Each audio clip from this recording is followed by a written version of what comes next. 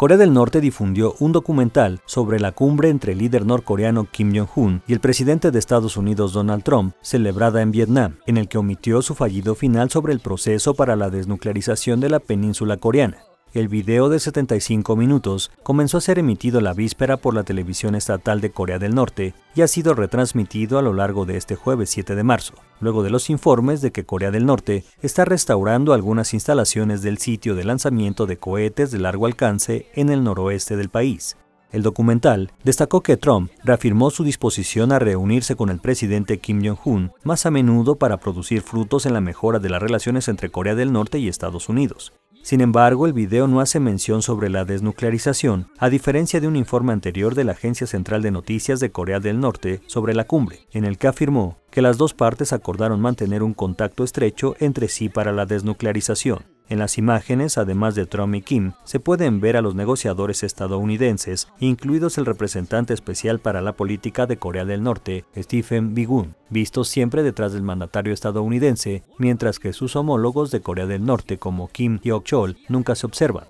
La segunda reunión entre los líderes, celebrada el 27 y 28 de febrero pasado en Hanoi, terminó de manera abrupta sin un acuerdo, ya que no lograron reducir las diferencias sobre el alcance de los pasos de desnuclearización de Pyongyang y el alivio de las sanciones de Washington. El lanzamiento del documental puede verse como un reflejo de la voluntad del líder de Corea del Norte de mantener ánimo de diálogo y de los esfuerzos por el régimen para evitar una mancha en el liderazgo de Kim pese al fracaso de la cumbre. Notimex.